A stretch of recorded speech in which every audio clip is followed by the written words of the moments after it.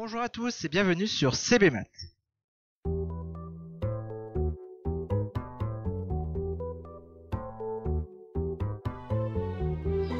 Dans cette vidéo, nous allons aborder le huitième problème du TFJM2, donc le tournoi français des jeunes mathématiciennes et mathématiciens, session 2018.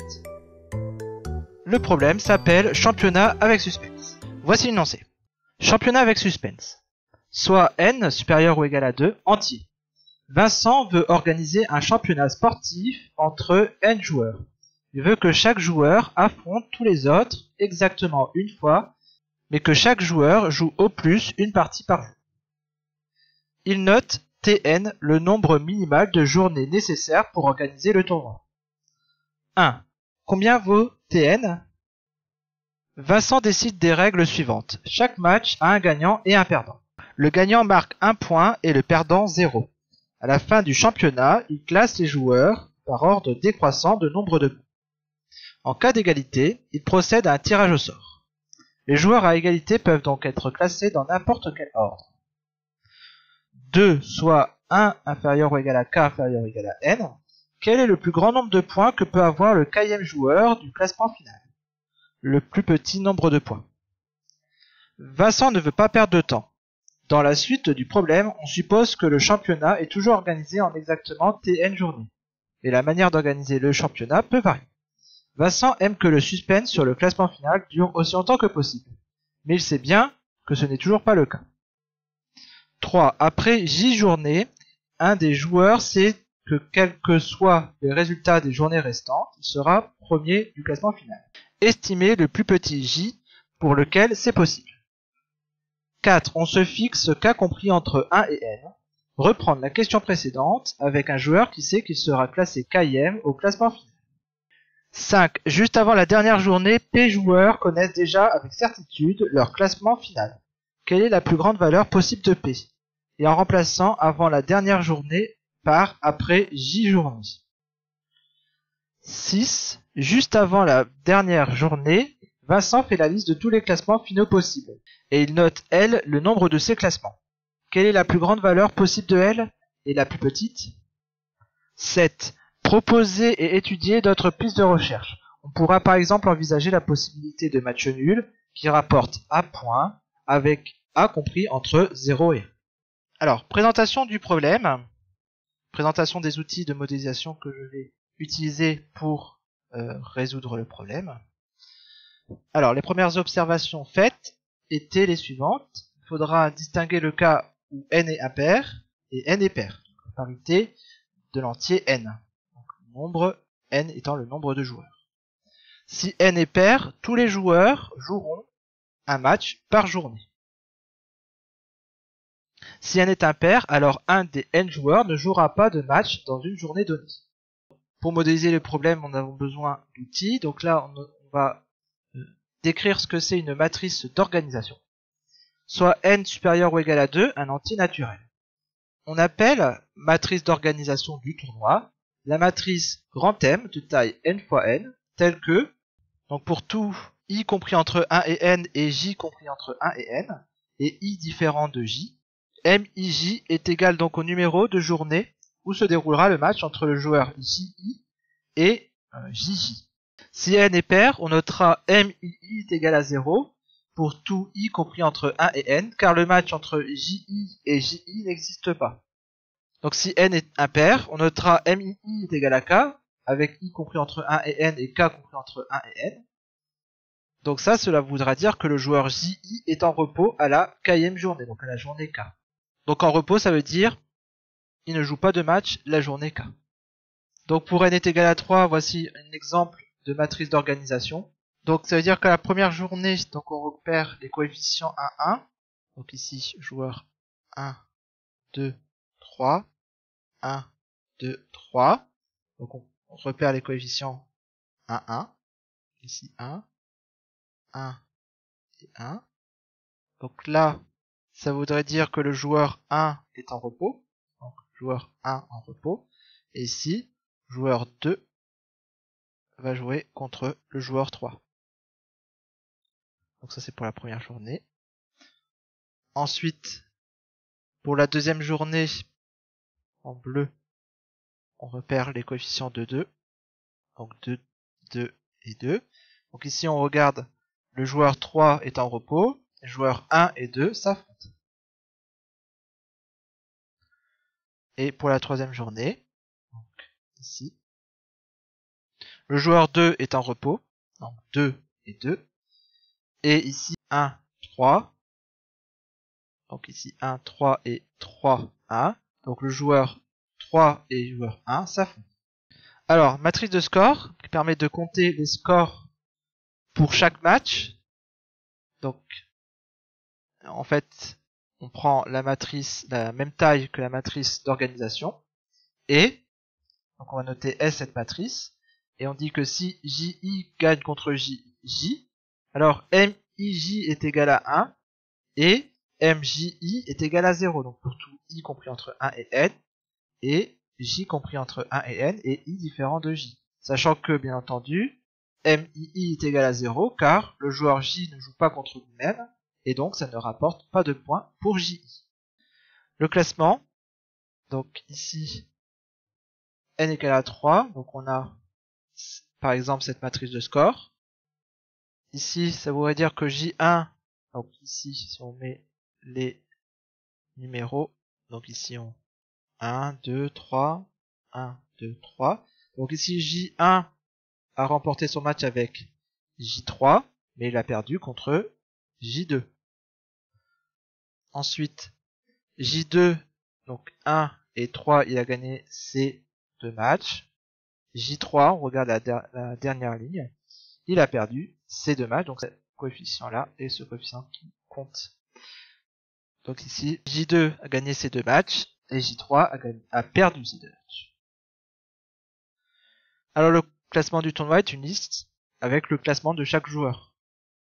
Donc si on reprend la matrice de score précédent, eh bien le classement est le suivant. Donc ici, le joueur 2 a 2 points, le joueur 1 a 1 point, le joueur 3 euh, a 0 point. Donc ici, on a le classement suivant, deuxième, premier et troisième. Donc ici, C est égal à 2 donc ça c'est pour le joueur 1, joueur 2 et joueur 3. Donc joueur 1 deuxième, joueur 2 premier, joueur 3 troisième. Alors quelques remarques. La matrice M d'organisation du tournoi est une matrice symétrique, c'est-à-dire que les coefficients au-dessus de la diagonale principale sont égaux aux coefficients en dessous de la diagonale principale. Matrice S de score est une matrice binaire dont les coefficients sont dans l'ensemble 0 et 1 on peut aussi noter cet ensemble 0, 1 comme z sur 2z, c'est égal à 0 et 1, ou plus, plus facilement 0, 1. Elle est antisymétrique car les coefficients au-dessus de la diagonale principale sont égaux à 1 moins les coefficients en dessous de la diagonale principale dans l'ensemble z sur 2z. Alors, ici, peut-être une précision, dans z sur 2z. Ici, si on fait 1 moins 0 de 1, donc 1 moins 0 est égal à 1, et 1 moins 1 est égal à 0. Une relation entre les coefficients au-dessus de la diagonale principale et en dessous de la diagonale principale. Quand un joueur gagne un match, il reçoit un point. Et quand un joueur perd un match, il ne reçoit pas de point. On restera dans cette configuration tout au long de l'exposé. Alors, on notera Tn, le nombre de journées minimales minimal pour euh, un tournoi à n joueurs. Donc, nombre de journées minimales pour un tournoi à n joueurs. Ensuite, mn, le nombre de matchs joués dans un tournoi à n joueurs. Donc S indice grand M I, le nombre maximal de points obtenus par le joueur classé IM du tournoi. Et ici, donc S indice petit m de I, le nombre minimal de points obtenus par le joueur classé IM du tournoi, donc avec N joueurs. Alors, on va noter P J1 1, la probabilité que le joueur J1 arrivera donc arrivera premier du tournoi à n joueurs. Alors, voici quelques pistes de recherche. Donc, on verra aussi quelques algorithmes qui permettent de construire les outils de modélisation présentés dans la partie présentation. Alors, nombre de journées. Donc si n supérieur ou égal à 2, qui est pair, alors il existe un entier k naturel tel que n est égal à 2k. On aura alors une matrice d'organisation de la forme suivante. La matrice M a pour taille n fois n avec sur sa diagonale principale des coefficients égal à 0. Coefficient, il y a donc n-1 coefficient étoile sur chaque ligne non nulle, tous différents, 2 à 2. Ainsi les coefficients sont pris dans l'ensemble n indice n-1, donc c'est l'ensemble des entiers naturels compris entre 1 et n-1. On a donc Tn est égal à T indice de K, qui est égal à 2K moins 1, est égal à N moins 1. Alors si n supérieur ou égal à 3 qui est impair, alors il existe un K n tel que n est égal à 2K plus 1. Donc la matrice d'organisation est de la forme suivante. Donc, la matrice M aura pour taille 2K plus 1 fois 2K plus 1, ou n fois n. Il y a 2K plus 1 coefficient étoile sur chaque ligne non nulle, tous différents 2 à 2. Donc ici, les euh, coefficients sont pris dans l'ensemble n indice 2k plus 1, avec donc n indice 2k plus 1, c'est l'ensemble des entiers naturels compris entre 1 et 2k plus 1. Et donc, Tn est égal à T2k plus 1, est égal donc à 2k plus 1, est égal à n. Alors, le nombre de matchs, si n est pair, alors le nombre de matchs est donc mn est égal à n moins 1 au carré, ce qui est égal donc si on développe à n carré moins 2n plus 1. Si n est impair, alors le nombre de matchs est 2, donc m et n est égal à n au carré. Alors, on va utiliser donc iscas pour construire des matrices d'organisation. Alors, explication de l'algorithme de matrice d'organisation. Donc ici, on va prendre une matrice M de taille n fois n, et donc on compare, donc on distingue les cas n impair et n pair.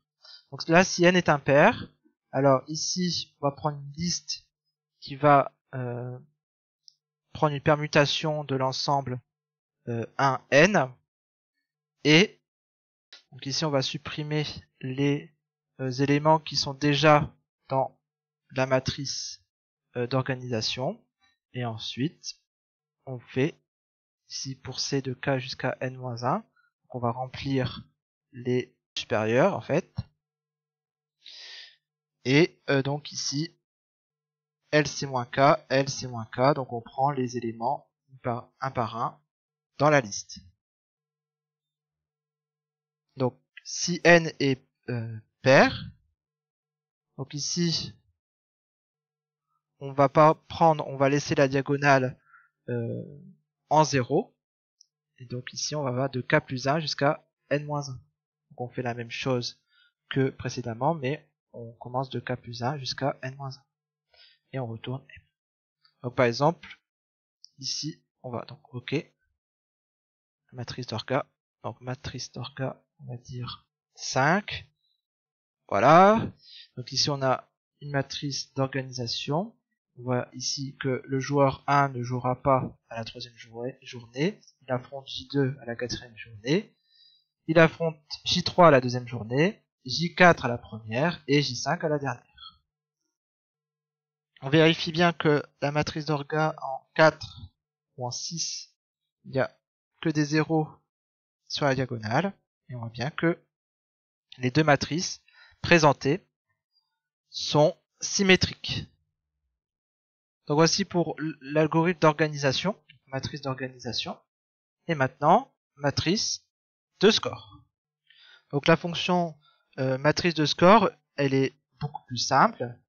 Ici, à chaque euh, coefficient jk, kj, Donc ici pour J allant de 0 jusqu'à N, moins 1. Donc ici on parcourt toutes les lignes de la matrice M qui est initialisée comme matrice de taille n fois n et donc matrice nulle. Et là, on remplit les coefficients j plus 1, n moins 1, donc les coefficients au-dessus de la diagonale. Donc mjk aléa 2, donc il va nous sortir un nombre entre 0 et 1. Et donc euh, ici, euh, le symétrique c'est a moins mjk.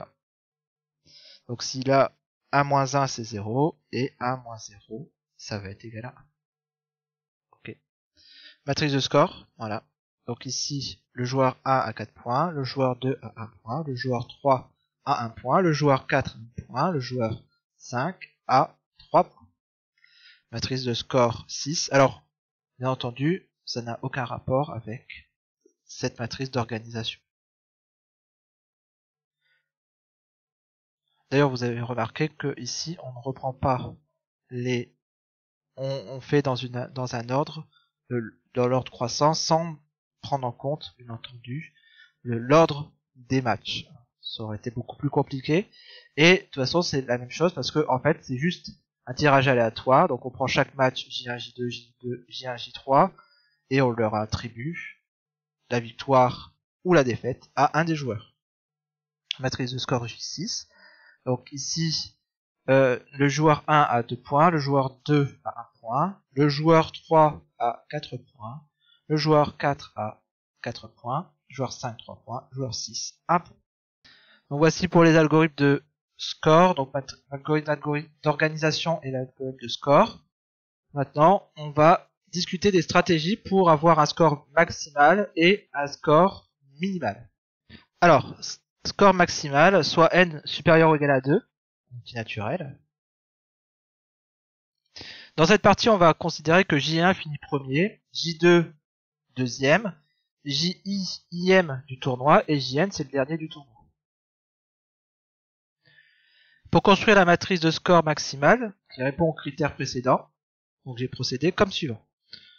Le joueur J1 gagne tous ses matchs, le joueur J2 gagne tous ses matchs sauf contre J1, le joueur J3 gagne tous ses matchs sauf contre J1 et J2, et etc. ainsi de suite.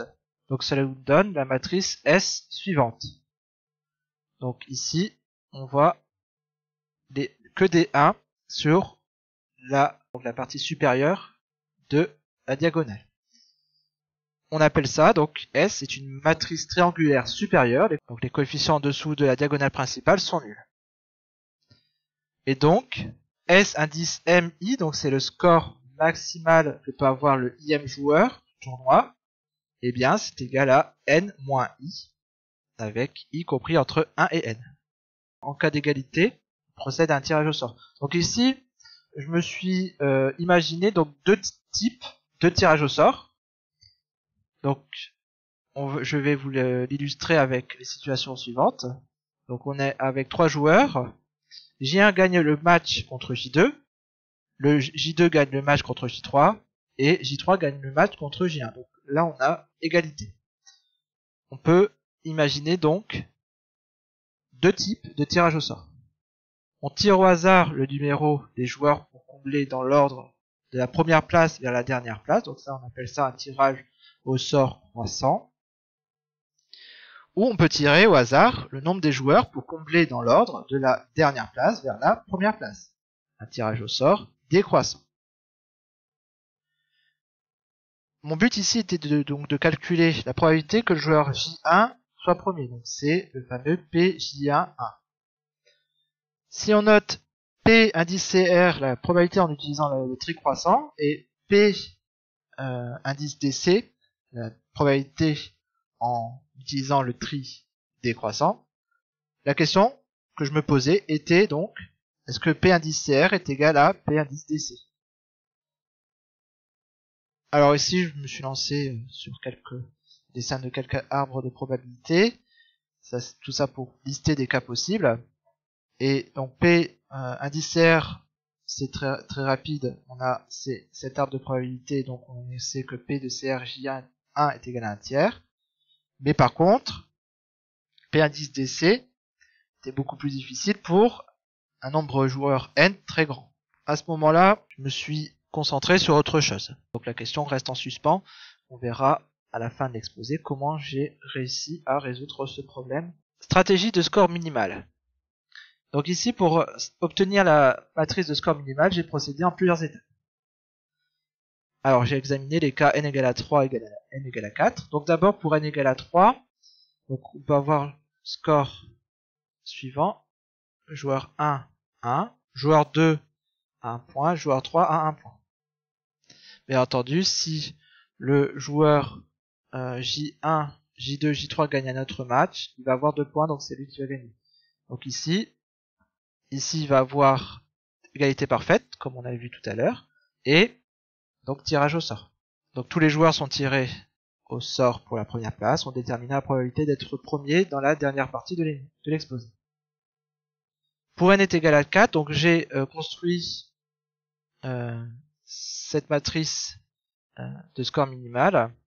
Donc je me suis dit, le joueur J1 gagne le match contre J2 et pas d'autres matchs J3, J4.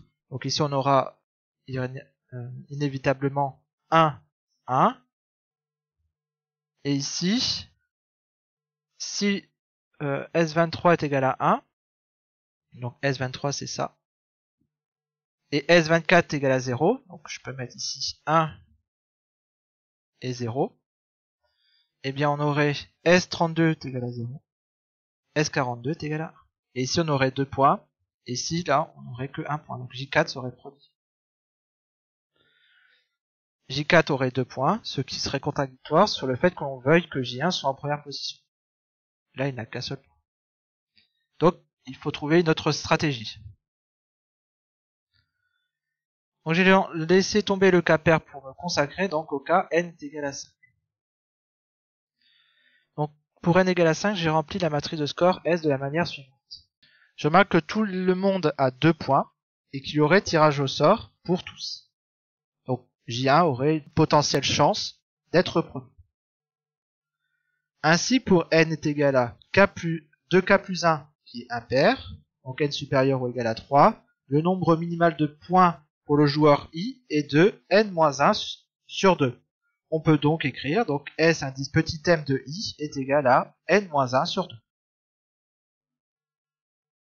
Alors, on peut voir le cas n est impair avec n égale à 7 et on peut construire donc un algorithme de remplissage pour la matrice de score minimal. Je remplis donc la première ligne à partir de la deuxième colonne avec 3, 1, donc 7 moins 1 sur 2, 3, puis 3, 0.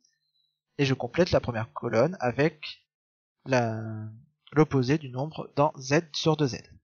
Donc ici on aura 3, 1 et ici 3, 1. Donc pareil pour la deuxième ligne, 3, 1 ici, et donc là, il y a 2 0, donc ici on aura, il y a 2, 1. Et ainsi de suite, donc là 3, 1, 0, Là, il reste plus que 1, 1. 3, 1, 3, 0. 2, 1. Et là, il y a un troisième 1, 2, 0. Et ici, donc là, il y aura 3, 1 et 1, 0. On voit que la matrice S a 3, 1 au-dessus de la diagonale jusqu'à n plus 1 sur 2. Jusqu'au n plus 1 sur 2 joueurs. Et puis les 1 se reportent en début de ligne. Donc, pour l'algorithme sur escas, il faudra penser au modulo pour passer donc les 1 ici, pour passer de, de cet emplacement-là à cet emplacement-là. Donc la question que je me suis posée, c'est est-ce que l'on peut faire la même chose pour le cas pair? Donc si on prend n égale à 6, donc on remplit, on remplit la matrice S de 0 sur sa diagonale principale. Donc ici on prend 3, 1 et le reste en 2, 0. Ici donc on aura 2, 1. Et là, on a une particularité par, rapport au cas impair. Sur la première colonne, on voit donc ici que 2, 1. Et donc, la question c'est est-ce que ce sera problématique pour la suite? Donc on complète. Donc 3, 1 et 1, 0. Donc là, il n'y aura plus que 1, 1. Ici, 3, 1 et donc là, il n'y aura plus que 0. Bien entendu, le joueur, le premier joueur doit être premier. Et maintenant, on est bloqué parce qu'il ne reste plus que deux emplacements pour mettre des 1 et non 3 comme précédemment. Donc ici, le cas diffère avec le cas impair. Donc 2, 1, ici 1 et 1. Les deux dernières lignes contiennent 2, 1 et 4, 0. Et donc la particularité s'est confirmée quand j'ai abordé le cas n égale à 8. Et donc ici, matrice de score minimal, elle est de ce type-là. Vous voyez 4, 1 jusqu'à J4 et 3, 3, 1 de J5 à J8. Donc ici, on aura tous les, si on généralise, on aura tous les joueurs de J1 jusqu'à J, euh, donc ici, N sur 2, et Jn sur 2 plus 1, Jn. Donc conclusion avec la généralisation, si n est pair, alors euh, pour y compris entre 1 et n sur 2, S indice petit m de 8 égale à n sur 2 points. Et pour i compris entre n sur 2 plus 1 et n, Sm de i est égal à n moins 2 sur 2. Alors, on, maintenant on vous propose l'algorithme de score maximal et minimal. Donc l'algorithme de score maximal, donc en fait on va remplir ici, on va remplir ici la partie supérieure de la matrice avec que des 1 et mkj c'est 1 moins jk donc ça va être que des 0 donc on peut vérifier matrice score max vous voyez. Là le j1 a 4 points j2 3 points j3 2 points j4 1 point et j5 0 points. Et bien entendu peu importe peu importe bien entendu la parité de n. Alors maintenant euh, matrice de score minimale donc ici, il faut distinguer les parités. Alors ici, on aura donc ici modulo. Donc on va remplir de C donc de 1 jusqu'à n-1 sur 2 de donc les matrices en 1 et ensuite euh, les coefficients jk en 0. Et bien entendu, IRM J plus C moins euh, N nous permet d'arriver à gauche. Donc on va commencer de cette partie-là. 1, 1, 1, 0, 0 et quand on arrive au bout, on revient à la première, donc ici 0. Et bien entendu, les coefficients symétriques, c'est 1 moins JK. Pareil pour le côté pair. Matrice corps min, donc ici 2, 4 si on aura 2, 2, 1, 1, matrice score 5, score min 5, on aura à chaque fois 2, 1 sur chaque ligne. Alors maintenant, on va finir par euh, la probabilité que le, le premier joueur soit premier et matrice aussi, matrice comment construire une liste de classements. On finit donc cet exposé par calculer la probabilité que le joueur 1 se retrouve premier dans les différents cas où le score est minimal. On peut commencer par lever le mystère sur les différents types de tirage, croissant ou décroissant. Ici on peut affirmer que la probabilité de DC est égale à la probabilité CR, donc tri décroissant, tri croissant, en considérant que pour un tirage avec n candidats, la probabilité que le candidat 1 se retrouve à la première place est équivalente à la probabilité de mettre un 1 dans un élément de euh, n indice n, donc les entiers compris entre 1 et n, puissance n, donc c'est-à-dire les n uplés avec des éléments de n indice n. Et cela peu importe le type de tirage. Donc quel est le nombre de possibilités qu'un n uplé ait n éléments différents dans n indice n? Pour le premier élément, on aura n possibilités. Deux éléments, Deuxième élément, n-1 possibilité, etc. Donc c'est n fois n-1 fois etc.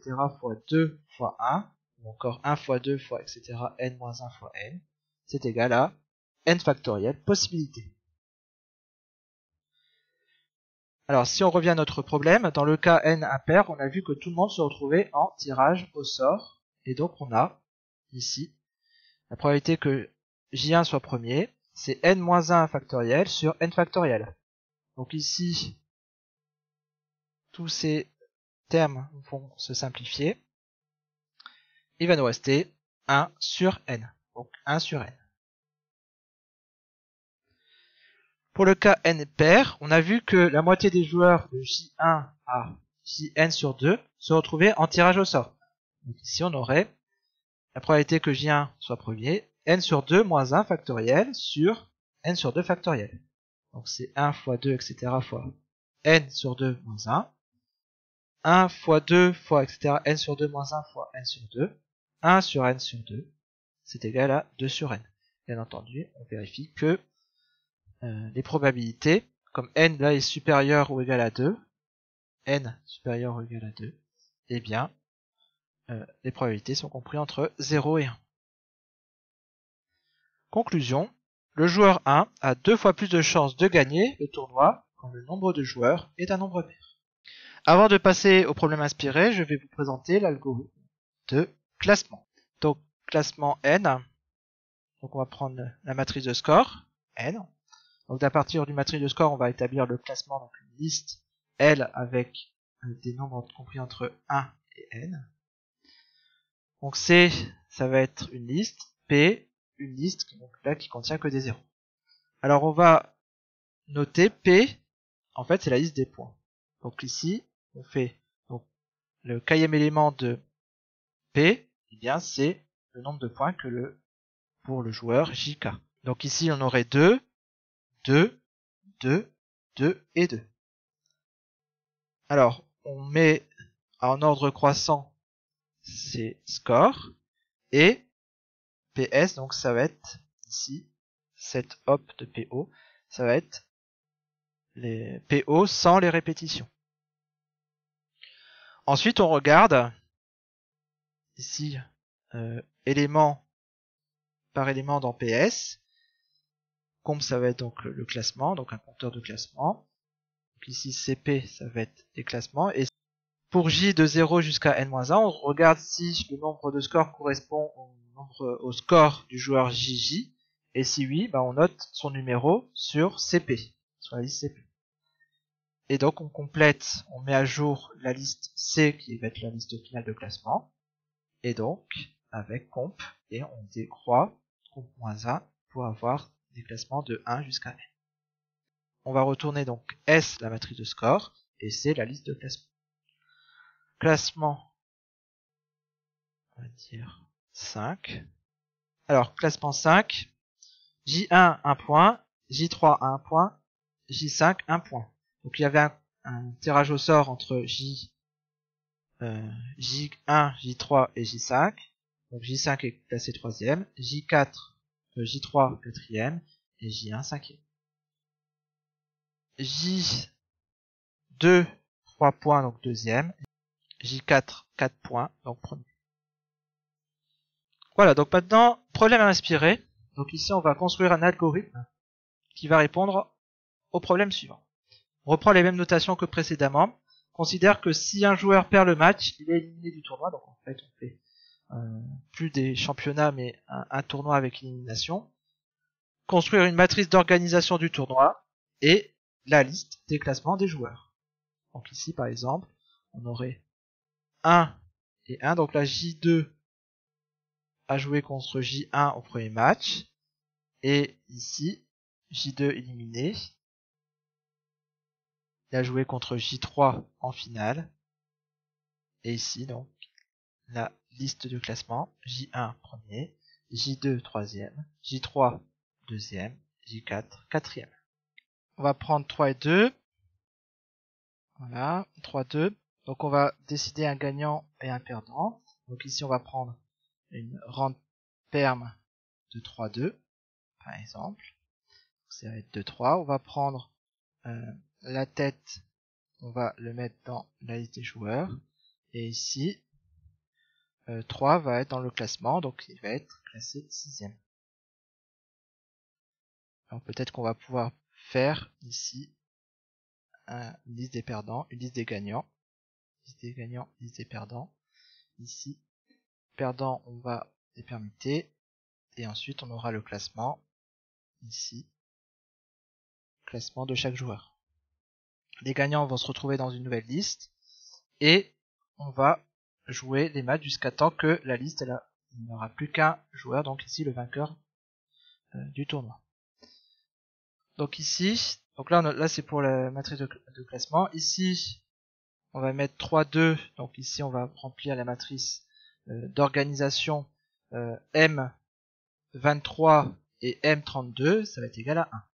Ici, M14 et M41 va être égal à 1. M65 et M56 va être égal à 1. Etc. etc. Donc ici, donc L, dans un deuxième cas, donc là c'était le premier, la première journée. Deuxième journée, deuxième journée, et eh bien là, elle va être égale à, par exemple, 3, 3, 1 et 6. Bien là, un nombre impair de joueurs, donc il va avoir un match et un joueur qui ne joue pas.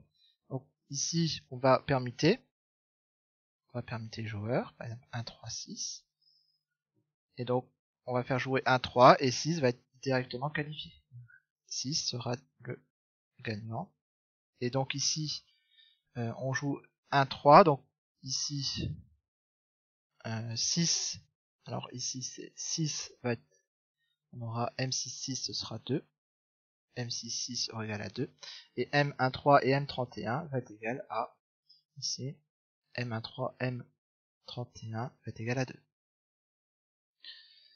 Donc, on prend le gagnant de 1, 3, 1, 6, et là, euh, donc là, le L va être égal à 6, 1, et on repermute, et P, donc ça va être égal à 3 et 3 va recevoir la troisième place. Donc voilà l'algorithme. Donc algorithme pour avoir la matrice d'organisation et la matrice de classe. Alors ici algorithme, algoprogramme, on va noter la fonction élimination n. Et donc ici f fonction et ici on va mettre euh, local.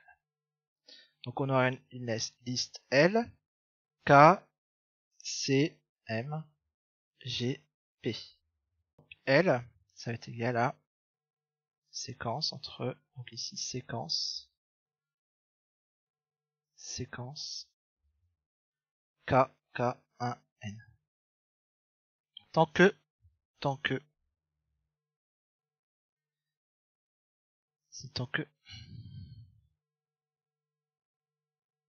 nops de L différent de 1, donc supérieur ou égal à 1. Alors, on fait. Donc on va faire. Et donc ici, on va permuter rand perm de L. Et on va découper donc la liste en binôme. n mode 2 est égal à 1. Alors, ici, eh bien, on va mettre G, hop de G.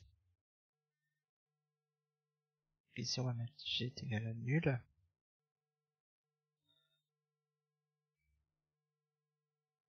égal à L. Donc ici, euh, L nops de L, donc on prend le dernier élément de L, moins 1, parce qu'on commence on commence à 0 et on finit par nops de L-1. La matrice M, donc ici matrice M, ça va être une matrice, donc n fois n, 0. Donc ici M,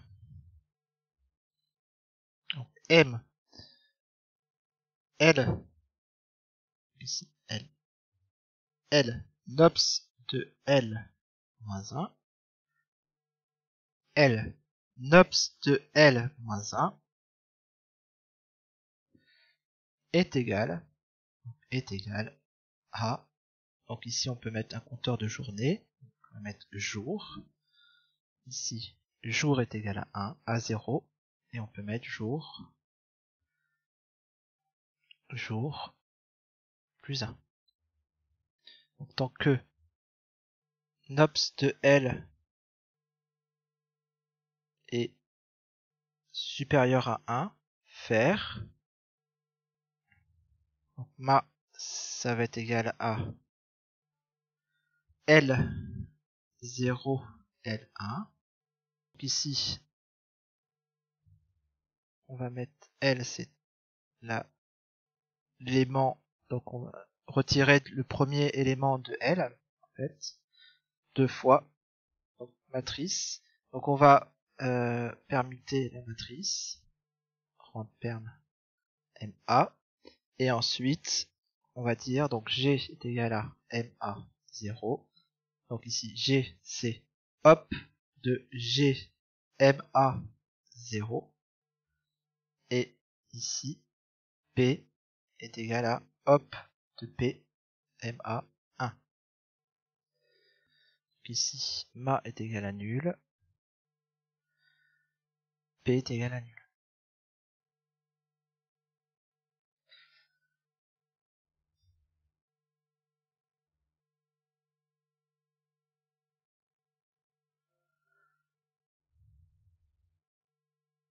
Alors maintenant la matrice M, oui, matrice M, M, MA 0, MA 1, et bien ça va être égal à jour, M, MA 1, MA 0 égal à jour. Donc là, on a les perdants.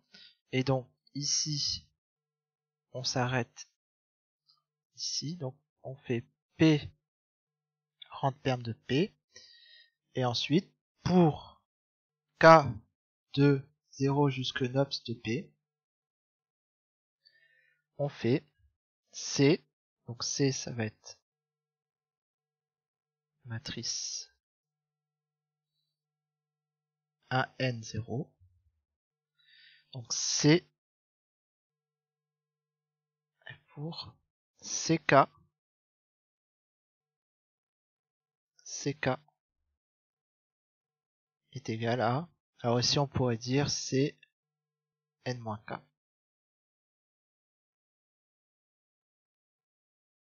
c'est n-k moins 1 c'est égal donc à euh, ici on va dire classement. Alors le classement on avait on va mettre comp ici. Donc ici comp. Et donc comp c'est comp moins 1. Fin pour. Fin tant que. On va retourner ici. On retourne M et C. j'ai oublié. Accrocher voilà. Alors élimination élimination. Alors bien entendu il faudrait faire ici on va voir point par point nation on va dire 5 euh, 6 donc point par point donc ligne par ligne l'exécution de notre programme. Donc n égale à 6 donc, ici, on met L 1, 2, 3, 4, 5, 6. Ensuite, C, c'est matrice 0, 0, donc pas de classement pour l'instant. Et M, c'est matrice d'organisation. Alors, jour est égal à 0, comme c'est égal à 6. Et ici, tant que, alors ici nobs de L, ici il y a un problème, ici on ne met pas de sexe c'est déjà une liste, donc on met pas de crochet. Voilà. Ok. 7. Comp et J. Alors, jour plus 1. Ok, donc J1. Donc on va voir donc une permutation de L. Voilà, on va avoir 2, 6, 5, 4 et 3, 1. Donc 2, 6, 5, 4 et 3, 1. Donc G nul, N A, M A nul et P nul. Alors, le match, ça va être ici L0, donc 2 e, et 6. Donc ici MA, il est ici. 2 et 6, voilà.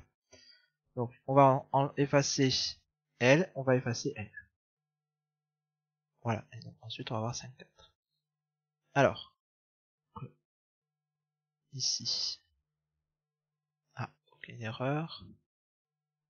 MA01 moins 1 moins 1 moins 1 et moins 1. Alors ce que j'ai pas fait ici c'est donc on a fait le classement mais on n'a pas fait la réinitialisation de, de L. Donc G est égal à L, G est égal à nul. Donc là on a 5, 6, 3, 4 et 2, 1. Donc 5, 6, 3, 4, 2, 1. G, M, A, P. Donc ici L0, L1, 5, 6. 5, 6 disparaît de la ligne L. Hop.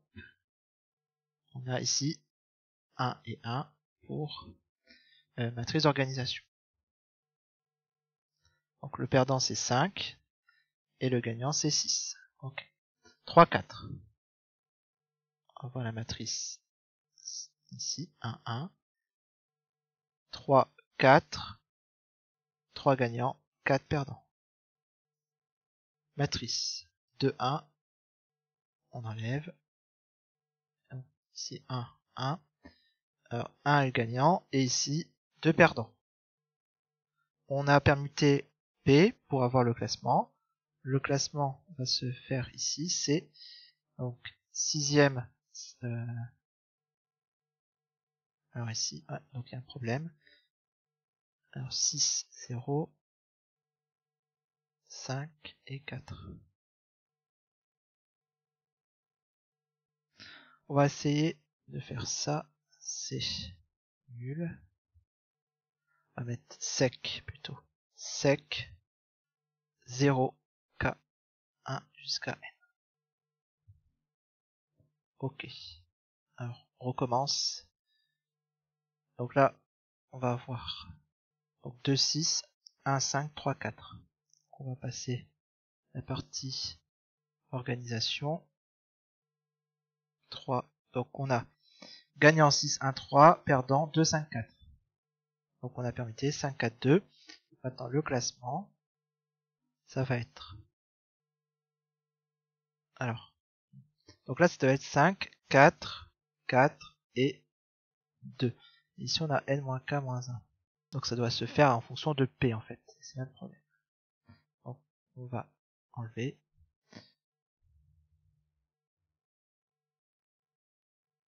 Donc ici c'est en fonction de P, P indice euh, K. Donc ici c'est P et indice K, c'est pour avoir le classement. Ok. Alors, on commence. Alors, liste 4, 1, 6, 3, 2, 5. Ok, alors la liste des gagnants, la liste des perdants. 3, 6, 2, 5. 5, 2. Donc perdant 4, 6, 2. Alors classement. Ici c'est 2, 4, 6. Donc ça veut dire. Euh, donc ici le deuxième. Alors là c'est on est 3. Donc là il va y avoir ouais, une erreur. Donc c'est K moins 1. C'est K moins 1. Ok. Élimination 6. Voilà. Alors, ici. 5, 6, 3, 4, 1, 2. Donc ici 5, 6. Donc gagnant 5, perdant 6. 3, 4. Ici, gagnant 3, perdant 4. 1, 2. gagnant 1, perdant 2. Donc 2, 6, 4. Classement. On va voir. Sixième. Euh, le 5.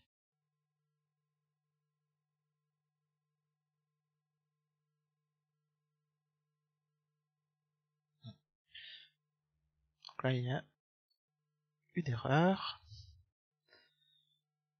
Donc là, il faut faire nobs de P moins 1. Ici. Ok. Alors, par contre, ça ne résout pas.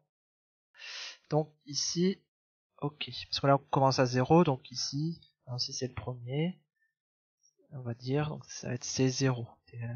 Ok. Alors, on commence. Alors, liste 5, 3, 1, 4, 2, 6. Donc ici, premier match. Le gagnant c'est 5, le perdant c'est 3. 1, 4. Gagnant c'est 1, perdant c'est 4. 2, 6. Gagnant 1, perdant 6. 6, 3, 4. Donc ici, ça veut dire 6, 3 et 4. Voilà, donc c'est ok. Donc là, on a vidé. Donc là, il y a un problème parce que ici, dit G est égal à L, mais L ne se ne se reconstruit pas. Alors, on va mettre L est égal à hop, ah oui, hop de G. Je me suis euh, trompé de d'affectation. J'ai dit que G va vers L, mais L est une liste donc G est une liste. Voilà, donc c'est ok. Alors, on recommence. 2, 3, 5, 6, 4, 1. Alors 2, 3, 3, 2. Donc ici gagnant 3, perdant 2, 5, 6. Gagnant 1, gagnant 5, perdant 6. 4, 1. Ici, gagnant 1, perdant 4. Perdant 4, 2, 6. Donc on aura 6, 5 et 4. Voilà. L, c'est 3, 5, 1. Maintenant, on est au jour 2. Donc là, il y a 3. Et donc ici, normalement, normalement, ici, donc G est égal à nul, ma nul, P nul. Et ici, là, normalement, le 1 va être dans les gagnants directs. Puis, 1 gagnant, ok. Et ensuite, on vient. Ah, ici, j'aurais dû, j'aurais dû supprimer supprimer le dernier élément. Ça va pas aller. Voilà. Et ça va pas aller.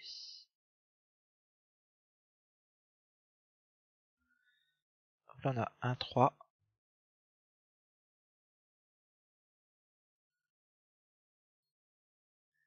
Et donc, ici, pour l'instant ça va pas. Alors ici, on a oublié un élément crucial il faut supprimer le dernier élément. Suppresse, suppresse, euh, L, nops de L. Donc nops de L moins 1. Voilà. Donc ça, ça va être OK. OK. Et on recommence. Donc là, je pense que ce sera la dernière. Alors. 3, 4, 2, 1, 6, 5. OK. Alors, premier match 3-4. Donc, c'est 3 gagnants, perdant 4. 2-1. 1-2. Donc, c'est 1 gagnant, 2 perdants.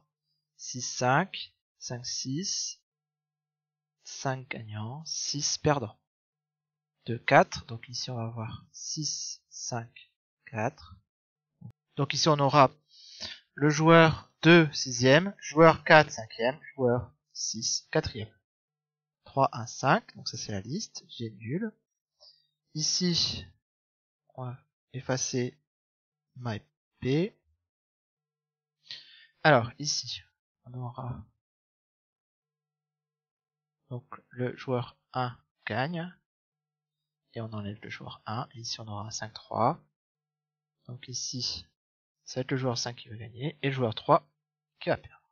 Donc ici, on a bien la matrice d'organisation. Falloir peut-être revoir. Ah oui, il faut peut-être revoir les indices sur la matrice d'organisation. Parce que ça ne va pas.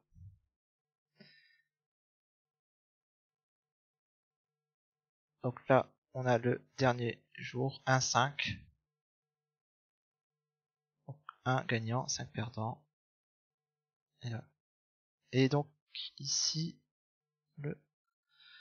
Euh, il va avoir un problème, n'ayez pas le 1. Ah oui, et donc en fait, celui qui va rester là.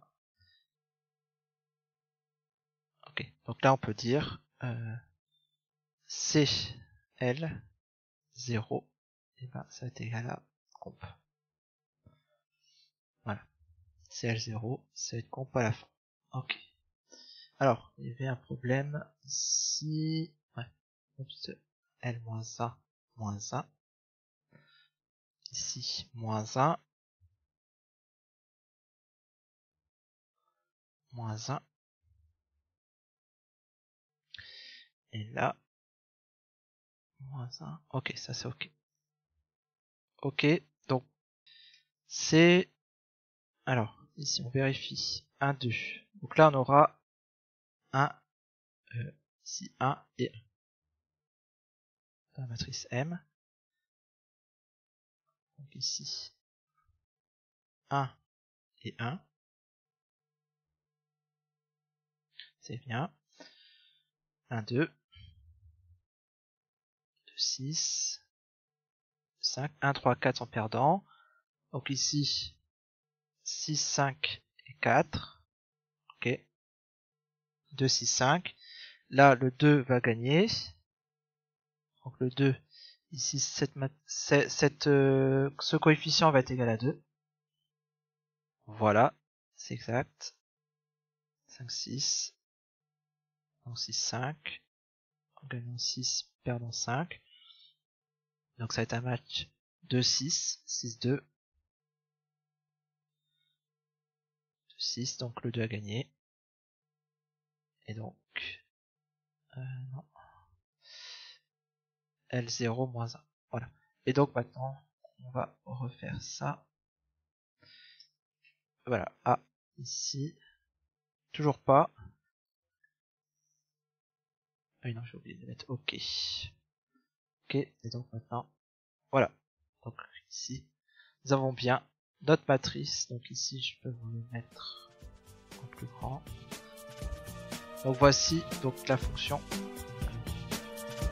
Donc voici donc la fonction qui permet de répondre à notre problème avec donc avec élimination.